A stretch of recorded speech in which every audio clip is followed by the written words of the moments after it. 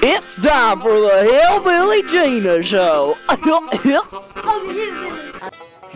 Hi, my name's Hillbilly Gina, short for Virginia.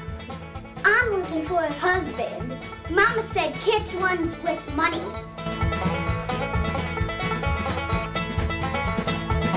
You have money?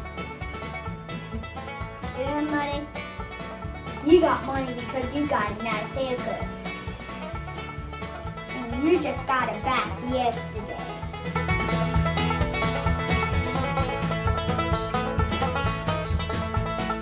Daddy says I will get a husband with donkey fly. Genus, I know you did that. You ain't funny. You just mad that I'm not marrying you. I'm gonna tell Mama what you did. I'm gonna listen to Aunt Click. She says husband is no good with big piles of They like to eat until they get sick. Well, that's all today. I told Mama the only thing that I'm catching today is dinner. Bye! and that was a Hillbilly Gina Show.